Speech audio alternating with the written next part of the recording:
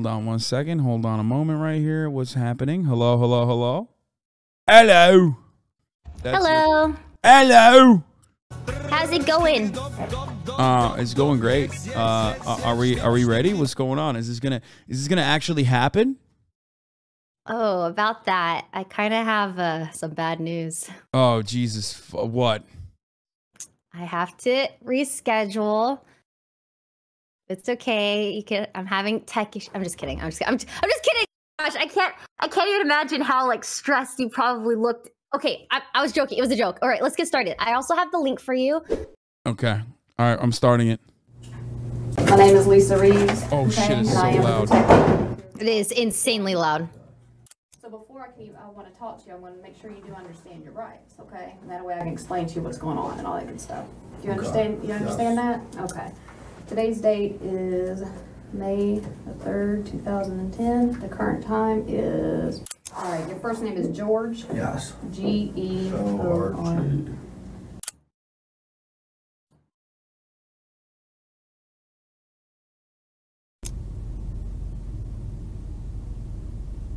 It's a Christmas miracle that we have JCS reacts again. I didn't, I didn't, I didn't, I didn't. There's no I'm sad that it's gonna end soon. Damn! They just. No way.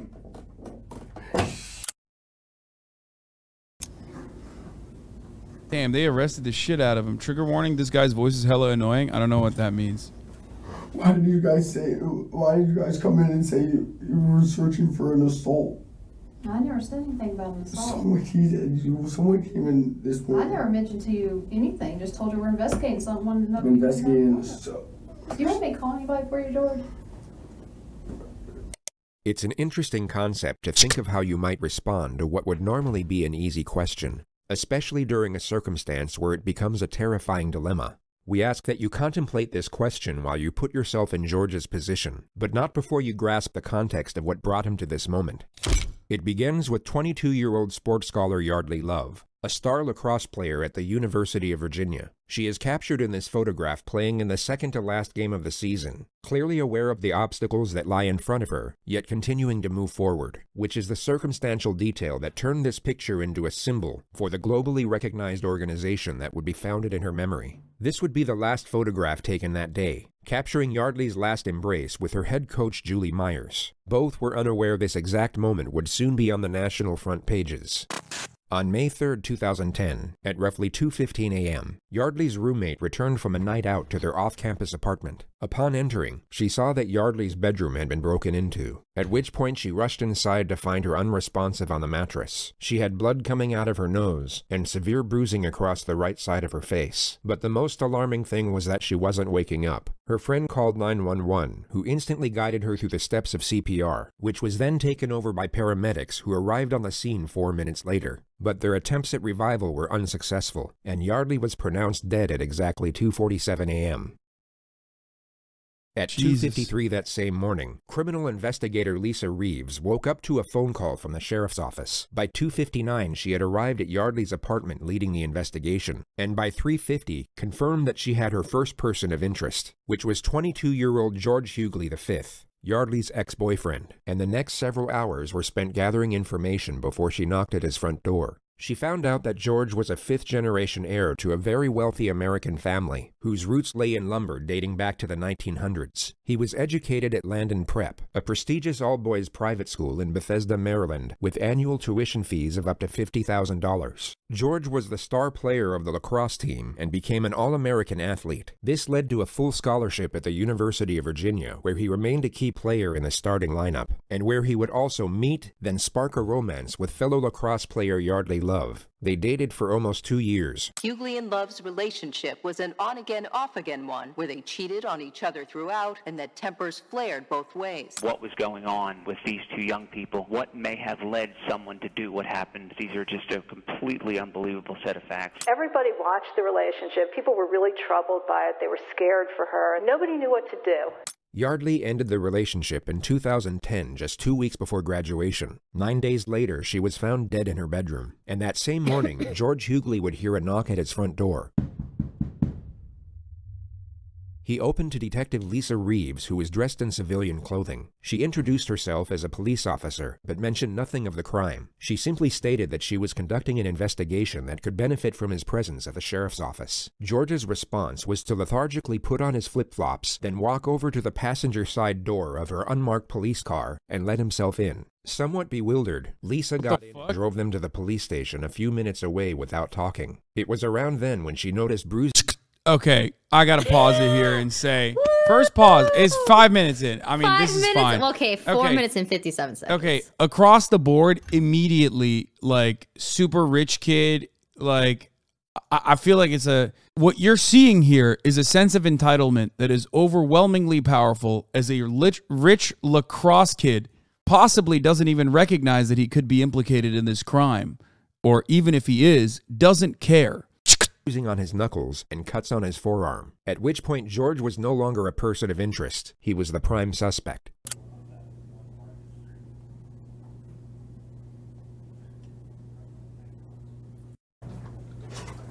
All right, all right, all right.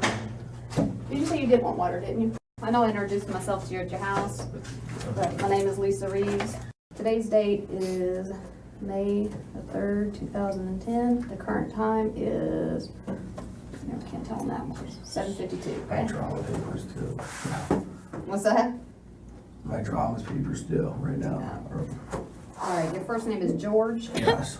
Right away, you'll come to notice that George is oblivious to the gravity of the situation, and it would be very safe to assume that he No at this asked, moment is unaware that Yeardley has died. He seems to believe that he's in as much trouble as he would be sitting in a principal's office, perhaps for getting in a fight at class or on the lacrosse field, and the sooner he provides a sanitized version of the truth, the sooner he'll get to go home. This, of course, ties in perfectly with the interrogator's opening strategy, which we've labeled warmth for the sake of this video. She will downplay the severity of his situation to a considerable degree, while maintaining a friendly temperament with a sympathetic undertone. She needs the suspect to feel safe and secure for the time being, as the less cautious he is, the more information he's likely to give away. Then as soon as he locks himself into one particular storyline, the pressure can commence, which often leads to a suspect being laden with panic and contradictions. I'm gonna pause again and say that there ain't no way this dude was writing his own drama paper.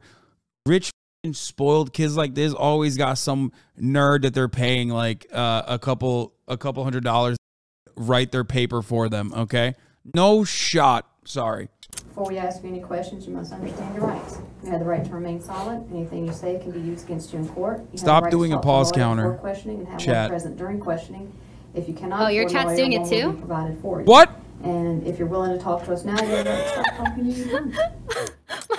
George has two options here. Option one is to remain silent, then allow his father to get him the most expensive attorneys in the country. He would then have True. years to examine the evidence, evaluate the many options available, and then construct the most self preserving storyline with world renowned experts in criminal defense before they present it to a jury. Unfortunately for George, he takes option two. But before he does, rewatch the flawlessly reassuring manner in which he's given the final piece of the Miranda warning. And if you're willing to talk to us now, you have the right to stop talking anytime. Okay, I gotta pause again. Pause counter three. I don't care. This level of care and consideration from a police officer or detective to the prime suspect on a murder case is never afforded. Okay, it is unimaginably considerate, and I assume it is because the person is is rich. Okay, straight up, rich white dude. I've never seen it. Either this cop is literally like running for historically best cop of the year award for every fucking year or this dude is just straight up like I mean he's getting considerations accommodations that I've never seen. Wait, Got it? Hasan. Awesome. What? Okay, this is I'm I'm gonna start pausing so I can respond to you. Okay. But um, it's a I'm pretty sure it's a tactic to get them to you know say certain things and trap them into a certain No, I, storyline, I, right? I understand that for sure. But ultimately, a big part of like uh, developing a case in many instances, uh, regardless of the warmth uh, that they're demonstrating, is by trying to get them to talk.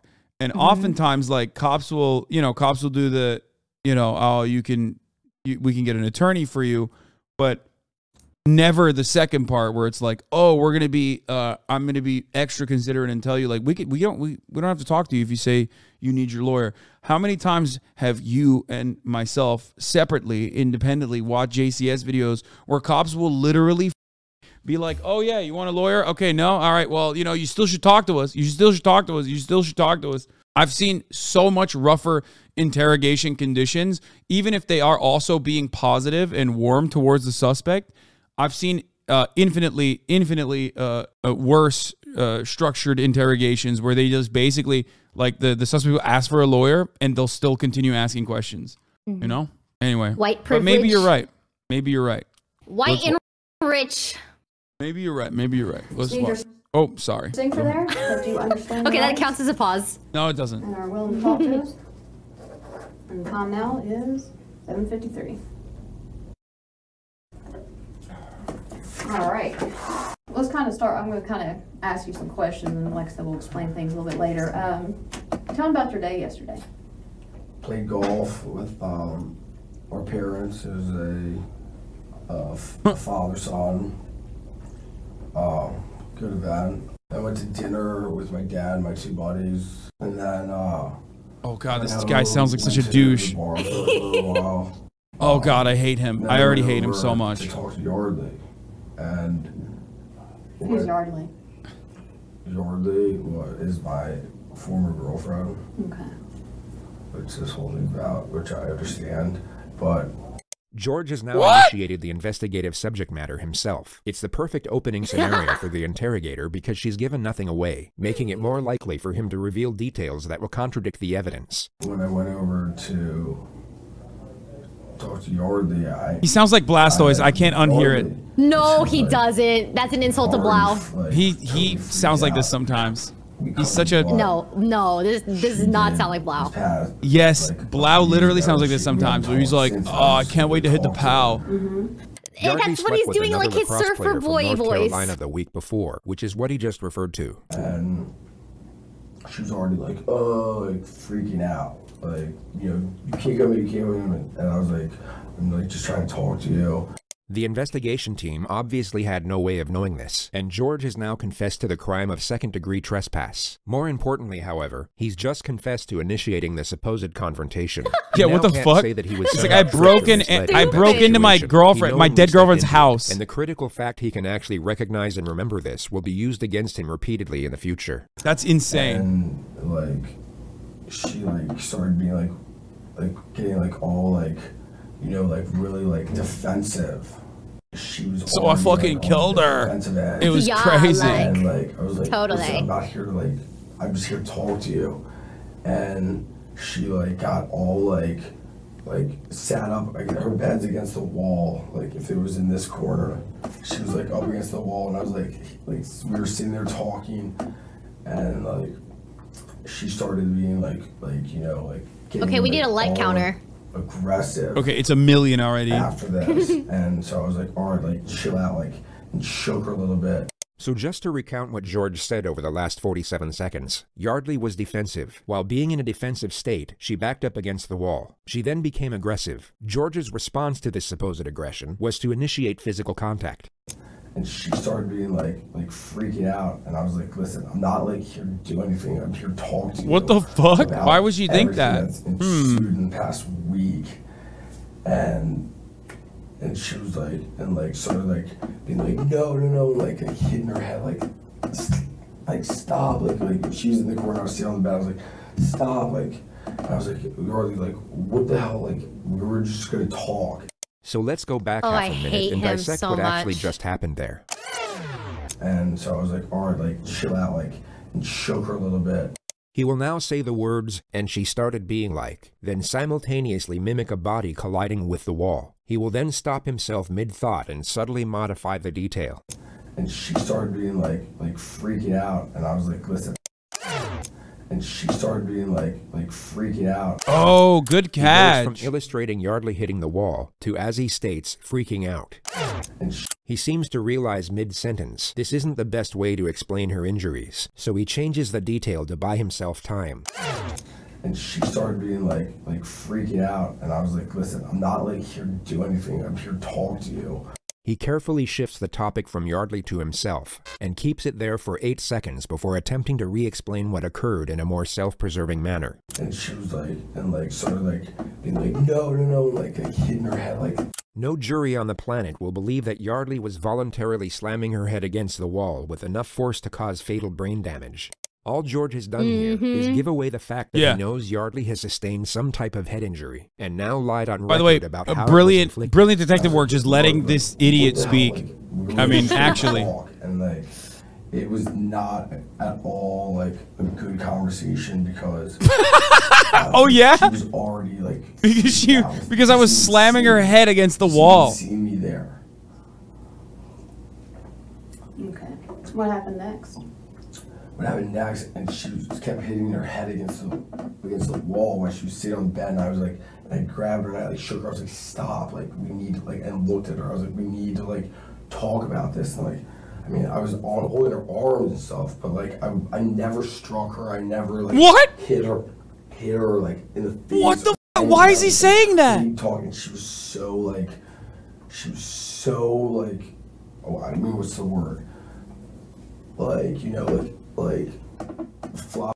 This motherfucker, What is he saying? this motherfucker has. He's insane. This is like levels of self-report that I have never seen before. He just straight up like sometimes we'll watch a a psychopath get interviewed by a detective and interrogated by a detective.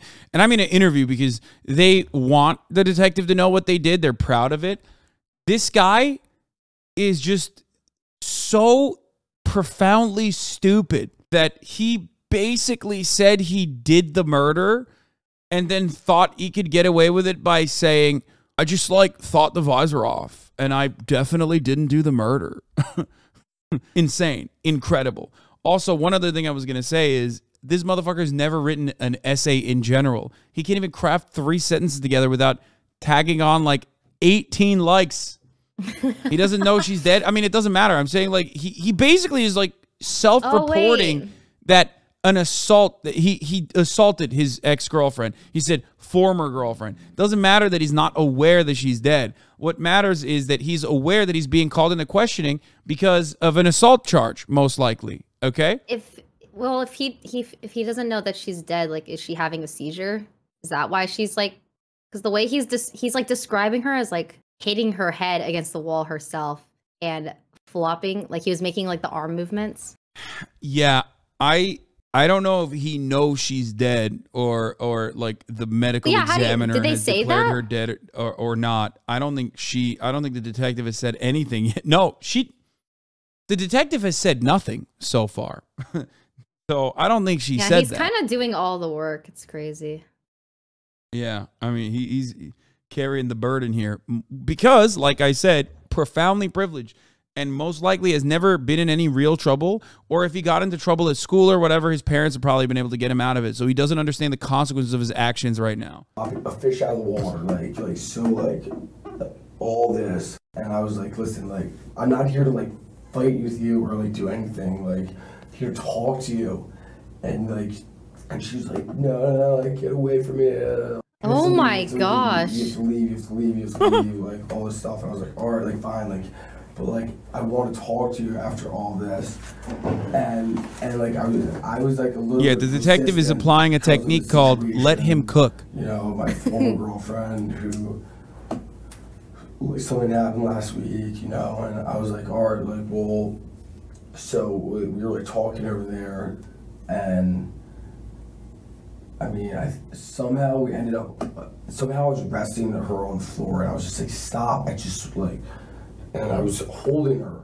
I was holding her. I was a little bit persistent. I was wrestling her on the floor. All further evidence that designates George as the aggressor. He's completely shut down his ability to argue any sort of self defense claim. And then the conversation I could tell was just like it was not going anywhere and nothing was happening and uh she like went back to bed and I and I left. And I went back home. Phase 1 is now complete. The suspect has unknowingly locked himself into a storyline that will put him away for a very long time. He's phasing up the right risk now. of him shutting down or requesting a lawyer is no longer a primary concern. So the interrogator will now increase the pressure. She will confront him on certain elements that she pretended to overlook before. And the ideal scenario is to cause just enough panic so that he backpedals on previous statements and contradicts himself. All right, so you go over there, knock on the door. Her front door's open. Her room door was closed. I knocked like like oh, a yard. They like she heard me open the door and and went in All right, went in where? to her room, All right, straight to her bedroom. straight to her bedroom. Yeah, I mean How'd you get through the door? her door or the mm-hmm. front door. Her door. Actually, it might have been locked. Mm-hmm. It was. What? Oh God. What the fuck? Yeah, it might- Why? Why? Actually, What is he doing? be honest with you. Yeah, no, yeah. in? He's being honest, I guess. Because I think I put a hole. Yeah, you punched a hole through the door. Pretty sure actually now. Yeah, that I used to have that. Yeah. What? What, what, why'd you do that? Yeah. Why? Well, I, I guess yeah. When I once I was in her room, she was like very like you know like or like I'm not like I don't want to talk to you. Da- And she was very like. You Your know, Honor, the vibes were was like, I permanently wonder- fucked. I I wonder don't why she was on I edge. talk, like, uh, you know. Your Honor, you don't understand. I needed to fucking resuscitate the vibes. Like, Outrageous. I It just was wanted bad. to Talk talk. to you. Why, why'd you punch the door then?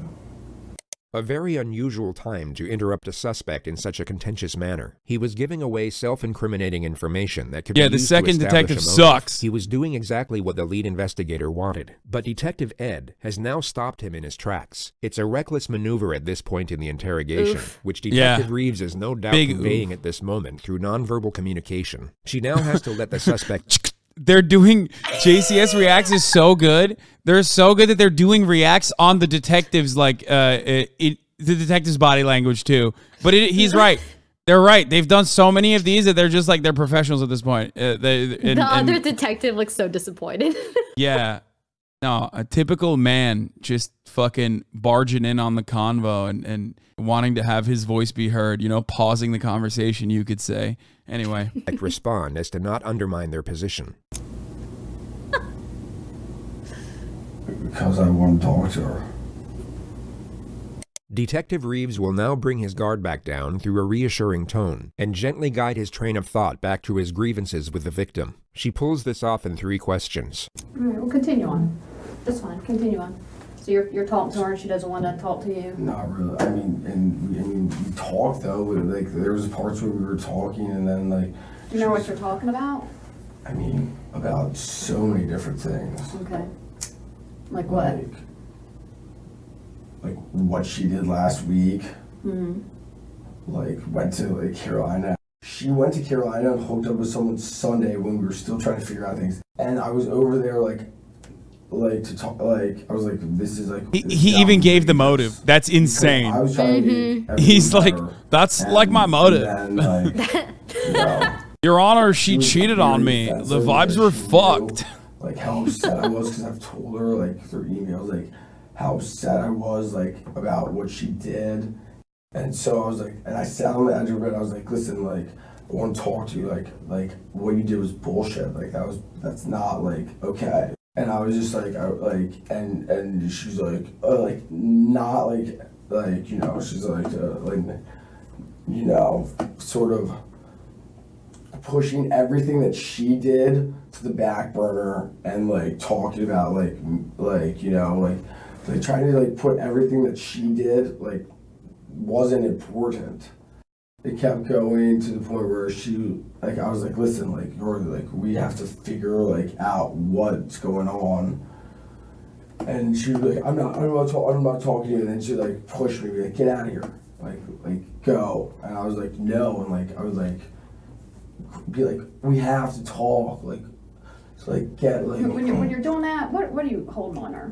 on her arms, On her arms, like maybe up here? like shoulders, yeah, Shoulders. like, sh- like be like, like, like, come on, like, you know, and she that's when she was like wiggle and like, be get away and like you know like hide in the get in the corner like really like What the fuck? aggressive like defensively almost. Even his like the way he's describing it, like he would I- still get ended- I think she was punishment for bed, assault and I at this left. I was point. like, This is the, Yeah. not going anywhere.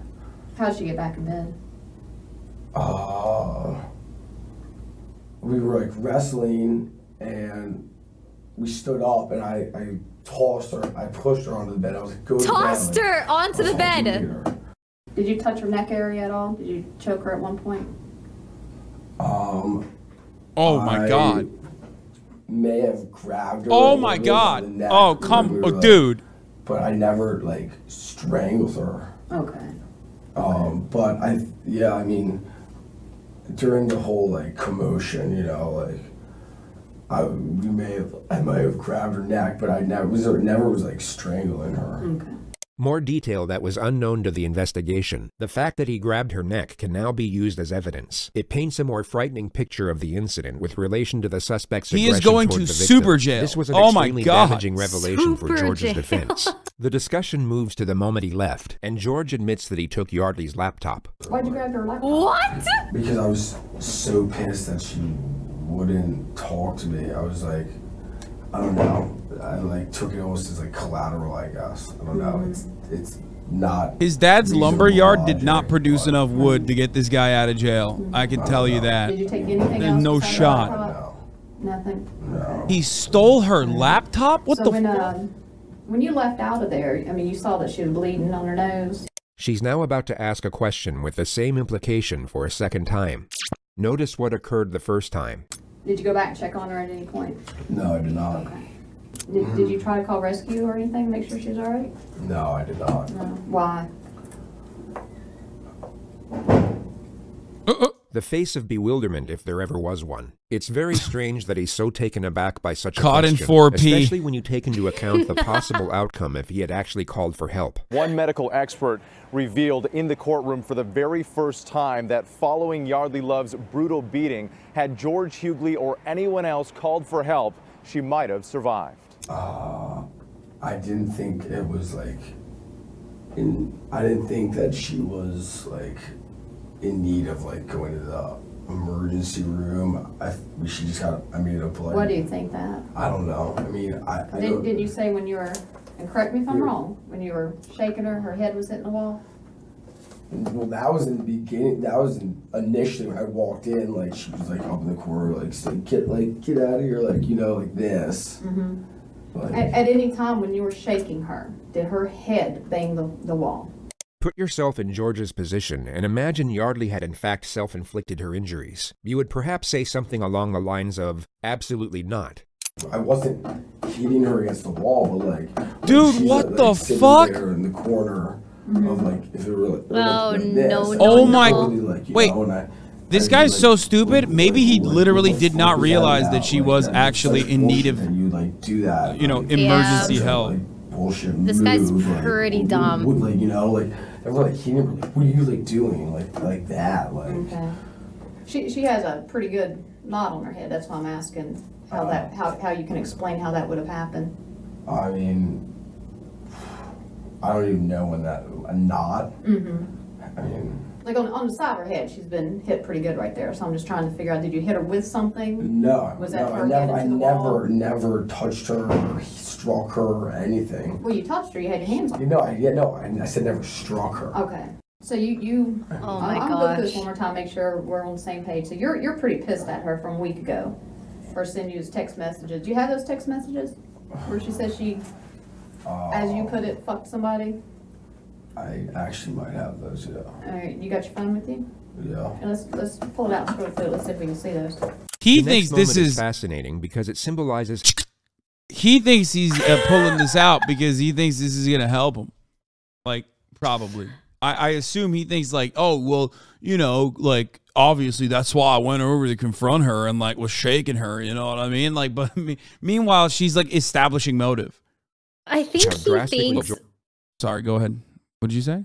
You I think he he thinks- thinks that like saying like, "Oh, she cheated last week" is like justifiable in his actions. Yeah, no, that's I think he doesn't realize he's in trouble.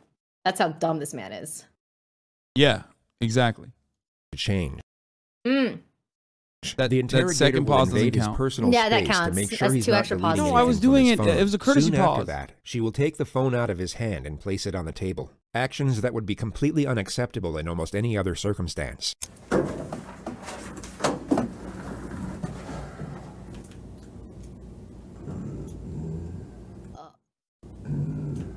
We didn't say what They were they were like, I guess what you call like a like a an ongoing conversation, ongoing like it's a message, and it's gone. Okay. That's crazy. All right. Let's talk about how you you Entered. entered. Yeah. Yeah, I mean, Because to put your to have put your fist through the door. no, I, she it's actually my been leg. I'm pretty Is sure your leg? because that's why my leg's like this. Yeah, you're right. I That was your leg. Yeah, How'd you get all the bruising on your hand then? this is all from lacrosse. This is all. That's This- pretty fresh right there. Looks This is all from my lacrosse game on Saturday. on I mean, I Saturday. Saturday. My right here. Stop. Even right there, I thought you you wore those padded gloves. This is Lacrosse. all. This is all the difference. This is all from lacrosse. And that's I got whacked here. I remember, 100 percent got whacked during the game. Yeah, this it is and, this is you're going to jail cop. if you're relax, bro. When when you had her and you're shaking her, did she scratch you anywhere? No, No. no. She's a little girl. She's tiny. yeah, she did not. No, she didn't. She didn't. She didn't try to hit you or anything like that. No.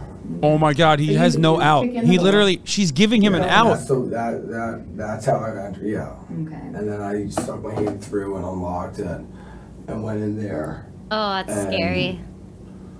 Okay. Everything else is told you.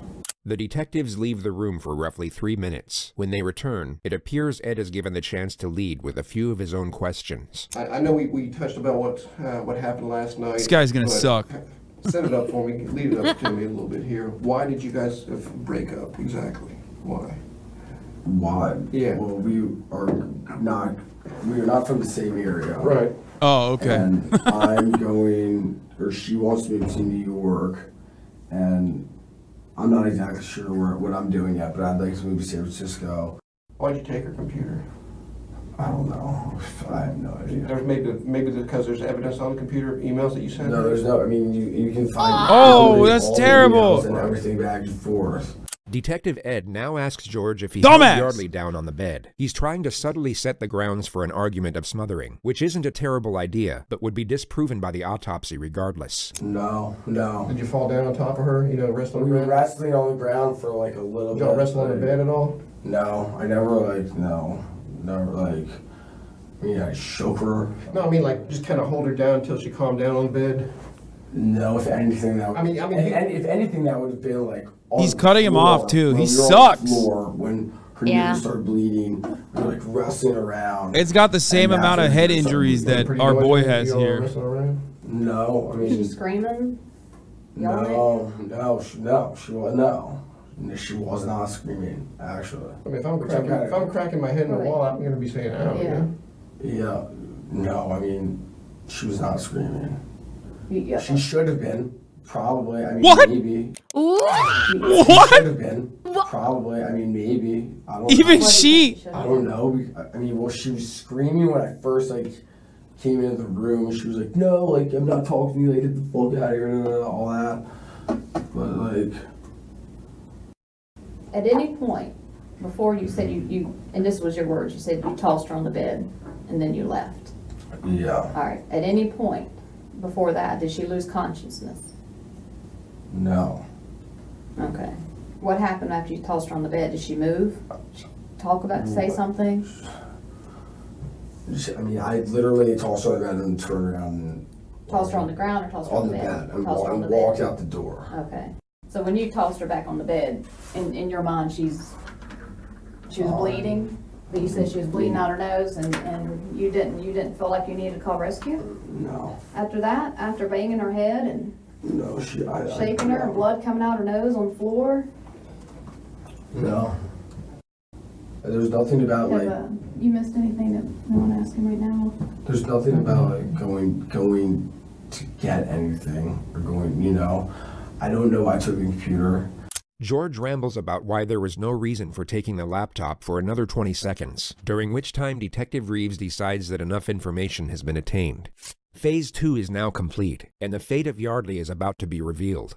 These moments in interrogations are considered important for the purpose of gauging a suspect's response. It's believed that a sharp and sudden revelation can make it difficult to fabricate emotion. So in theory, this will cause a suspect to provide either a genuine response or a relatively obvious disingenuous response, which often comes in the pretense of shock or remorse. I mean, I guess that's where my logic was at, but that was, which is Well, I have to tell you I think. I know why you took the computer. In the midst of what would have been a flawlessly executed moment, oh Detective God, Ed jumps back into the laptop mystery. The suspect has essentially confessed to murder. This really wasn't the time for regurgitated conjecture over a petty theft misdemeanor, which Ed was clearly being advised of once again through nonverbal communication. This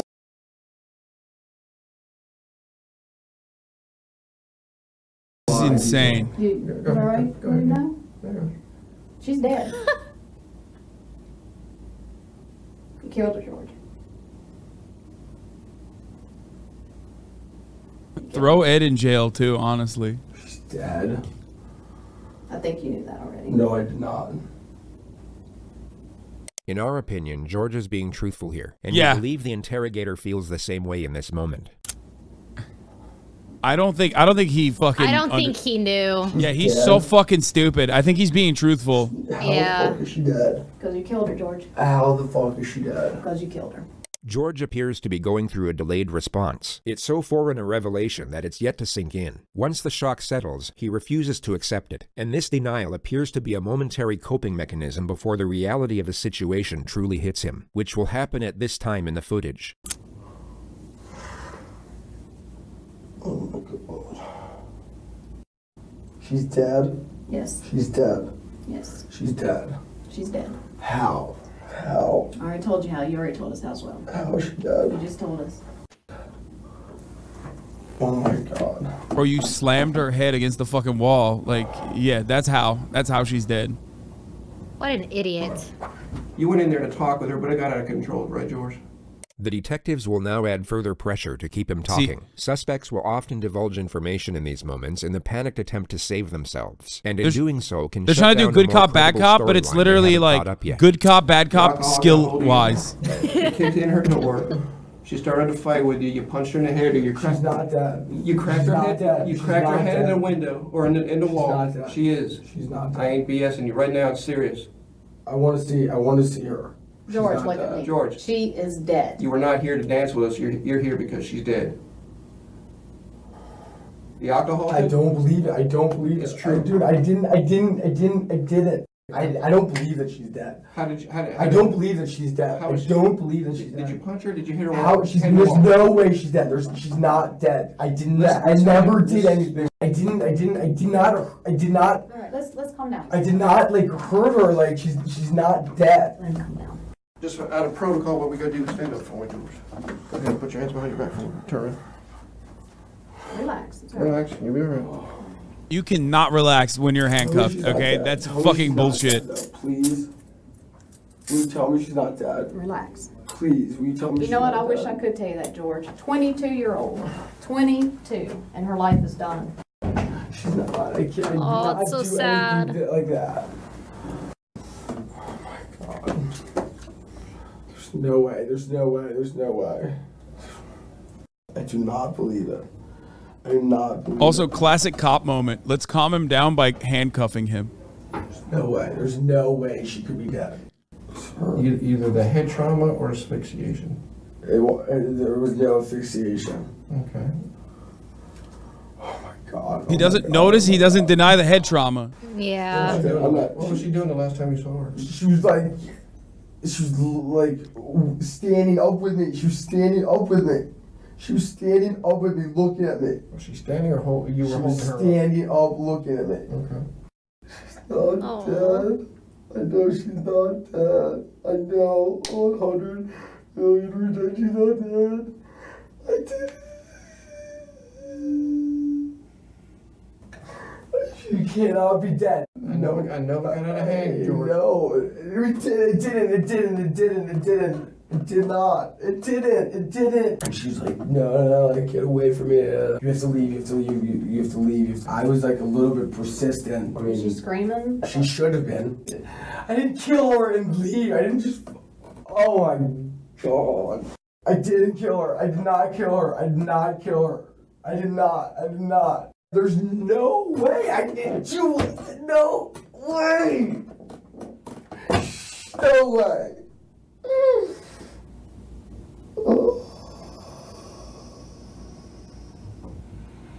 I want a lawyer. I don't believe this.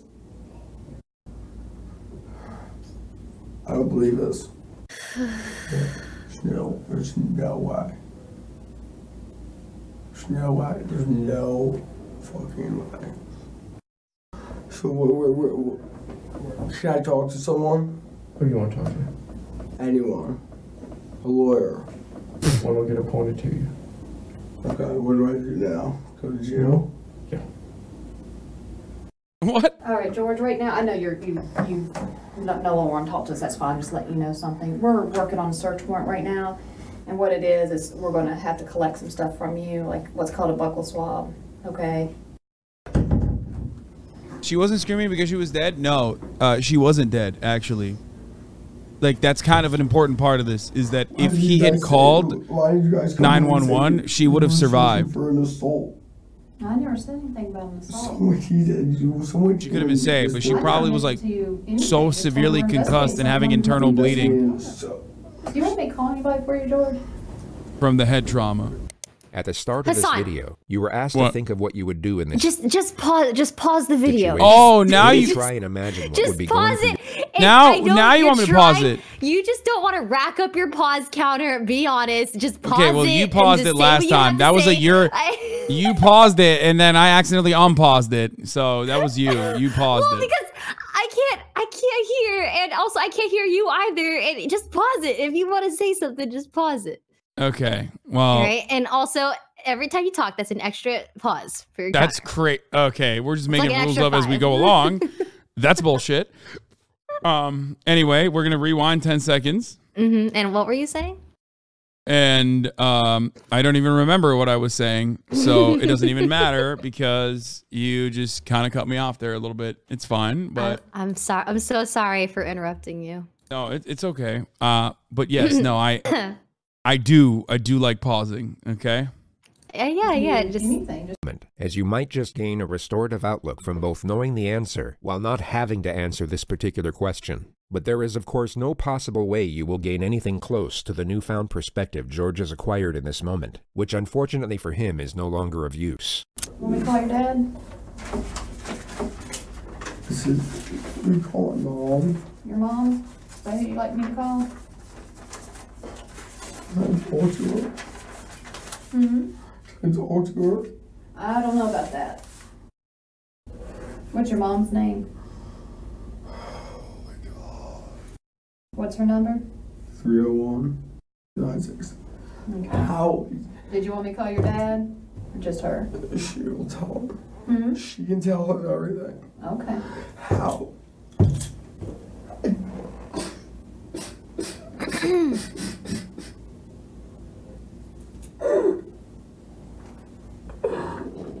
I don't believe it. How is she? There's no way she's gonna be dead.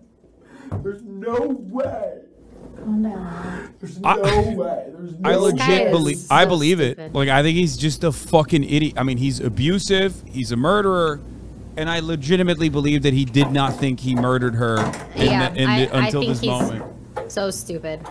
He's insanely dumb. George, go ahead, put your foot down. Oh my god. Yep. These next few moments are a turning point. The leg irons seem to initiate a shift in his constitution, and his denial will completely cease from this point forward. He will continue to ask why and how, but he will no longer reject the severity of what is happening. Oh my god. Oh my god.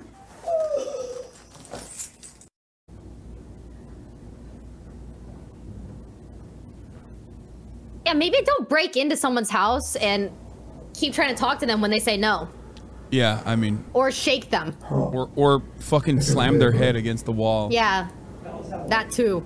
Another thing that I was thinking of is like he might have even done this. He might have been abusive like this in the past as well, which is part of the reason why he was like so surprised that this And you know the time he ended up killing her. You know what I mean? Am I here the rest Yep. of my life? In this room? No, in jail. I don't know. Because like, there's no way you just like pop off one time and start fucking. Never said a word, bud. That's someone who is comfortable uh, being abusive with my their partner. I'm sorry. Mm-hmm. You call my mom? No, yes. Yeah, you do want to talk to her. Now's when you need your family the most, bud. You know?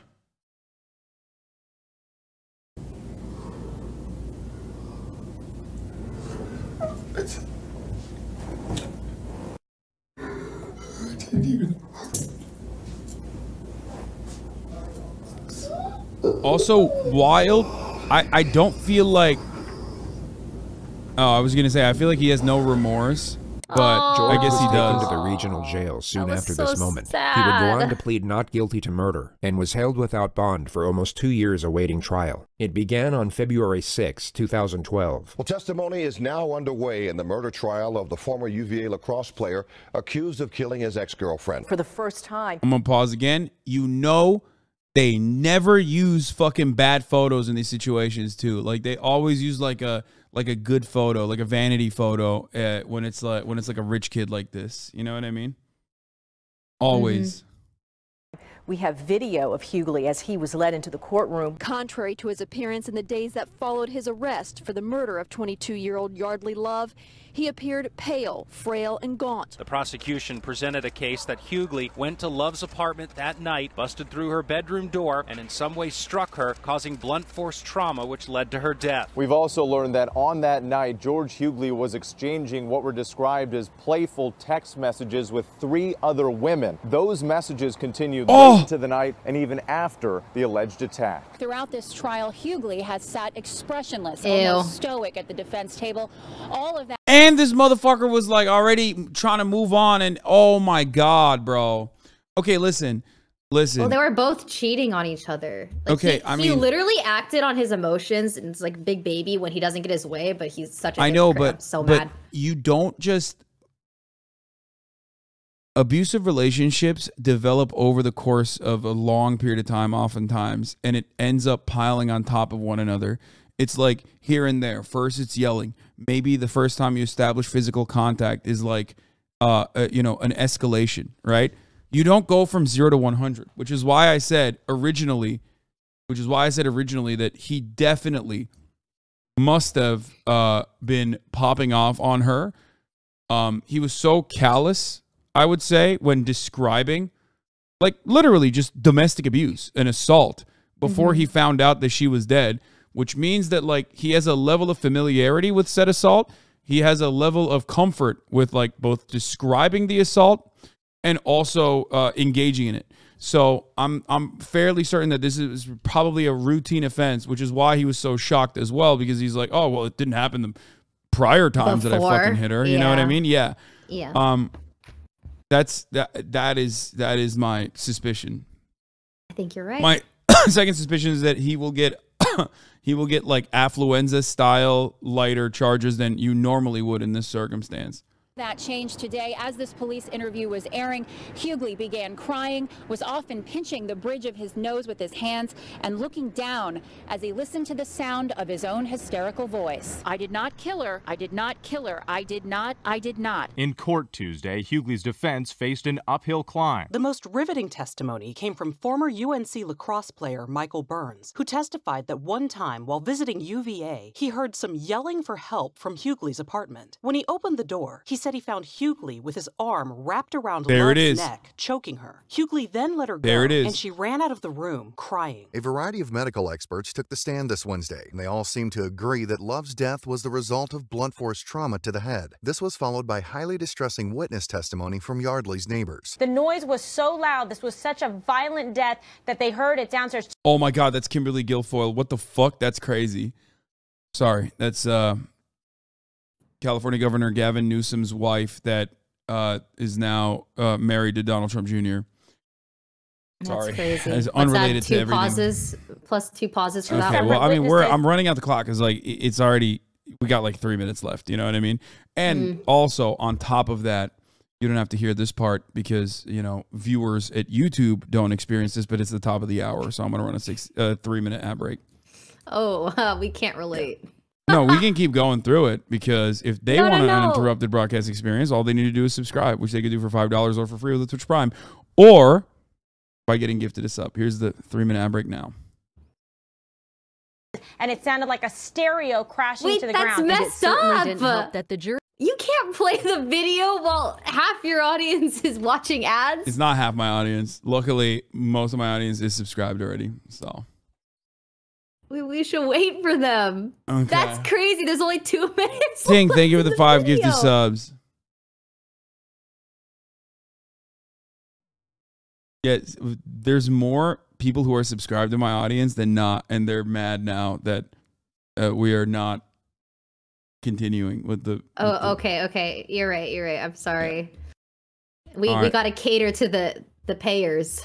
Yeah, exactly. jury knew that she was alive for two hours before she died, indicating that if George Huguely had come to his senses, he could have gone back there, called 911, and possibly saved her life. Still, the driving argument for the defense is that George Huguely never intended to kill. They say this was all a tragic accident, that he does Yeah, not he intended to deserve bruise, a life you know? sentence, but Fuck instead her up a little bit, lesser not kill. charge Come on. and a second chance. Guilty of second degree murder. And Thank you, will hear Dean Beamy, for the five gifted momentarily. A 26 year prison term came down. George Huguely was brought to court to hear What his lawyers idiot. plead for the judge to cut in half the 26 year sentence recommended by the jury. Judge Edward Hogshire did trim it back, but by just three years. The jury in this case recommended 26 years. The judge changed it to 23. Probably a small difference, but but why would he do that? It's surprising, isn't it? Yeah, Considering this why is a would he do who that? was beaten to death in her own bed. We think that George was convicted of a crime inconsistent with the facts, and he received a penalty inconsistent with what the evidence would require. There are no winners uh, in this case. With credit for the time that George Huguely has already served in jail, and if he gets time off for good behavior, he could be out in 18 years. And the family for Yeardley Love has put out this statement saying, We find no joy in other sorrow. We are relieved to put this chapter behind us. Uh, As that for is- George, he was incarcerated at the maximum security Augusta Correctional Center for 10 years and has since been transferred to a prison work camp in Richmond where he's expected to serve out the rest of his sentence. The present consensus in the media Fucking- is that he- he got sent to the no gulag. intention of killing Yeardley, but that his 23-year sentence is still appropriate, if not lenient, and that him being drunk to any degree at the time of the murder is not an excuse, nor does it lessen the culpability of his actions to any extent. He'll be released at the age of 45, meaning he will have the second chance at life Yeardley was never afforded. You can decide for yourself whether he deserves it or not. A comforting prospect to this tragedy Yeah. is the nonprofit. I mean, he got hit with a By Rose uh, Women. a, a decent One Love Foundation penalty, which is extremely surprising. Messages, both on social psychology and preventative education. I did not think that he Their would website get- will be linked in the description of this video. I, I thought, I thought he would get less than that. I thought he would get less than that. Um, there have been instances of like sexual assault, especially where like a, a, a person of that background will end up, you know, having their sentence removed dramatically, reduced dramatically. Um, for sure. Also, uh, Ray Carl is in the building right now. Carl Jacobs is Hello, here. Carl. Hi, Ray. It's me, Carl. Can you hear me? Wait, is that Carl? It's me, Ray. Carl, is that you? It's Hi, me. Carl. Ray, it's me, Carl. Carl, I see you out in the hallway every day when I walk past that iPad on the wall. Oh. you can tell that Ray's rich because the house that she lives at has a bunch of iPads all over the walls. I All right, goodbye, iPads. Carl. Yeah, exactly. I have iPads on my walls. Uh, that's Yeah, you heard awkward. me. you heard me. No, no, no. So I just took a picture with one and then had that wallpaper now. Yeah, it's it's quite lovely. All Yeah, right, have fun it. playing playing uh It Takes Two. Uh, everybody, thank you uh, to Valkyrae for uh, duo queuing this uh, React with us. You know, Yeah, uh, this surely was- there'll be another one soon, right? yeah, yeah, and also, uh, you know, go bother her about uh, doing Poppy Playtime, What do you mean? We I'm down to to, do it. which we were supposed to do. When? We're supposed to do it eventually. Okay, yeah, you tell me when. Okay. Toodaloo. All right. Bye. Have a good stream. Goodbye. Bye. Thank God the girls are gone. Am I right? Dude, I've been saying. Boys, Boys, rule. boys, boys, boys, boys, boys. That's what I'm talking about, dude. That's what I'm freaking talking about. Okay. Also, uh, big shout out to JCS. They done did it again. The boys over at JCS, Jim Can't Swim. Holy shit. What an incredible fucking video overall. um, nobody does it. Nobody does it like they do. Hey, if you like this video, please subscribe and hit that bell so you don't miss out on any future videos.